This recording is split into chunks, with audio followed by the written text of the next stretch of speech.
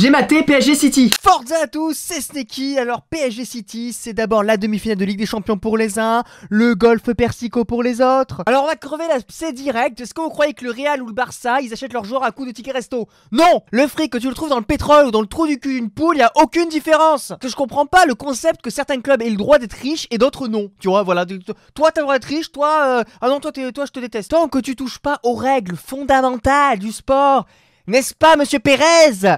Pour moi, il n'y a aucun problème. Je n'ai aucun problème avec le PSG ou City. D'ailleurs, en parlant d'argent, je vous ai mis un lien dans la description si vous pouvez aller télécharger gratos OneFootball, l'application numéro 1 du foot sur Android et iOS. Ce serait cool et comme ça, je pourrais continuer à faire croire aux gens qu'on peut réussir dans la vie en supportant les Girondins de Bordeaux. Voilà. Alors tout commence à bien pour le PSG qui domine le match et qui ouvre le score grâce à l'inévitable Marquinhos. Marquinhos Il est partout Tu vas sur l'autoroute. Tu prends ton ticket. C'est Marquinhos qui te donne. Tu fais l'amour à ta femme. Tu te retournes. Tu vois Marquinhos. Tu ouvres ton frigo, tu prends du ketchup. Qu'est-ce qu'il y a derrière? Il y a Marquinhos. Qui est meilleur que Marquinhos en défense centrale dans le monde à l'heure actuelle? J'attends vos suggestions. Qui est meilleur que Marquinhos? À part Jules Koundé, tu vois, euh, Jules Koundé, d'accord. Mais à part Jules Koundé, c'est qui le meilleur défenseur du monde? Franchement, en termes de leadership, en termes de placement, en termes de mentalité, en termes en plus de buts, parce que le mec en plus, non seulement il défend mieux, mais en plus il marque Qu'est-ce que tu veux de plus pour être heureux dans la vie? Bref, Manchester City est complètement dominé. Pourtant, quand tu vois la gueule de leur gardien de but, franchement, t'as pas envie de le faire chier. Ils sont allés le chercher dans une prison mexicaine ou comment ça se passe? Angel Di Maria, lui, ils sont pas allés le chercher dans une prison mexicaine. Par contre, avant d'aller au Parc des Princes, il a dû manger à la table de Jésus le Christ. Parce que c'est un magicien. C'est un magicien. Le mec ne court pas, il l'évite. Le mec ne dribble pas, il passe à travers toi. Sur un terrain de foot, Di Maria, c'est à la fois ton passé, ton présent et ton avenir. On parle de Mbappé, de Neymar, de la Tour Eiffel, de, la Joconde, mais est-ce qu'on a parlé d'Angel Di Maria? 5 minutes Est-ce qu'on s'est posé 5 minutes pour réaliser à quel point ce joueur, il est absolument incroyable? Bon, sinon quand même, du côté de City, on peut se mettre sous la dent une petite frappe de Foden juste avant la mi-temps. Le problème, c'est qu'il s'est tellement appliqué à cadrer sa frappe que la seule personne qui l'a surprise, à la rigueur, c'est Valère Germain devant sa TV. Tout ému sûrement de voir quelqu'un viser aussi bien une cage de but. Voilà, c'est la mi-temps, les joueurs rentrent au vestiaire et là, il va se passer un truc de dingue.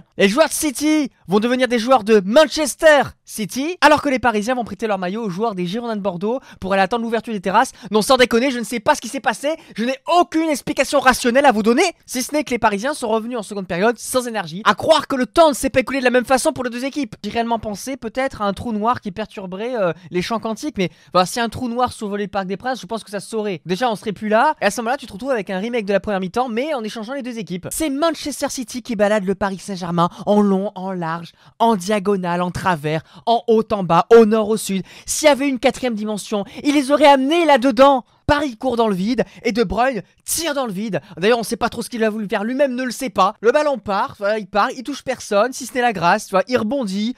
Il rebondit devant Navas et il finit sa course au petit filet. Il était à deux doigts de s'arrêter déjeuner euh, euh, dans une loge. Ça dit quand De Bruyne marque un but, hein, qu'il soit beau ou pas beau, on s'en fout. C'est toute une nation qui marque avec lui. Moi aujourd'hui, quand on me dit Belgique, Belgique, je pense à quoi? Je pense à la frite, Tintin Milou Kevin De Bruyne. Voilà. Et comme si ça suffisait pas, Marez en rajoute une couche Hier Moïse a ouvert la mer rouge en deux Aujourd'hui Marez a ouvert le mur parisien en deux Il a mis en Sainte Navas sans même le toucher 2-1 pour les Citizens Et à ce moment-là, c'est le feu de la bonne mère à Manchester en passant par le slip de Benjamin Mendy Alors là, du côté parisien, ça part en couille complet. Voilà, il ne contrôle plus rien. Euh, Neymar commence à se rouler par terre. Euh, Mbappé, il parle dans sa barbe qu'il n'a pas. Baker, lui, il se demande s'il ne serait pas plus utile à pêcher du saumon dans la mer Baltique. Bref, c'est le moment rêvé pour prendre un carton rouge, non? Du coup, j'ai une question pour vous. Si monsieur madame Pitbull avait un fils, comment l'aurait-il appelé? Ah ah ah ah. Oui, oui, oui, Ganagay, Ganagay, évidemment Ganagay. Alors c'était un pitbull dans le bon sens en première mi-temps. Par contre, en deuxième mi-temps, euh... Bon, il en a peut-être un peu trop fait. Euh, ça va, c'est pas non plus... Euh, ouais... Bon, au pire, il a deux jambes, non? Y'a pas un truc qui s'est envolé là? Alors que le pied de Gundogan vient d'atterrir euh, en tribune. Finalement, le match termina sur le score de, 2 buts à 1 pour Manchester City, pour le plus grand bonheur des fans de Manchester et également d'une des villes dans les Bouches du Rhône que je ne citerai pas. J'aurais tendance à dire quand j'ai vu ce match qu'il y avait une mi-temps pour chaque équipe et que le nul aurait été mérité. Voilà, ça c'est ce que j'aurais tendance à dire. Mais le football, c'est cruel. C'est très cruel le football. Hein. Guardiola, il a dit à ses joueurs d'accélérer un petit peu plus parce que les Citizens, ils avaient pas beaucoup trop couru en première mi-temps. Hein. C'est le moins qu'on en puisse dire. Et du coup, ils ont réussi à marquer deux buts, un petit peu chanceux, mais qui vient récompenser les efforts qu'ils ont fait en deuxième mi-temps, évidemment. Attention, le match n'est pas terminé. Et d'ailleurs, la semaine prochaine, je vous donne rendez-vous sur sa chaîne YouTube pour un live. Alors, je ne fais pas ça parce que je peur de PSG. Évidemment, j'espère que vous l'avez compris. J'espère que je vais pas le répéter dix mille fois. Hein. Je fais ça parce que cet été, je vais vous commenter des matchs de l'Euro. Donc voilà, j'ai aussi envie de vous faire un peu la Ligue des Champions. Alors, je le fais pas tout le temps. Hein. Ma chaîne n'est pas spécialisée dans les lives parce que je vous propose d'autres contenus.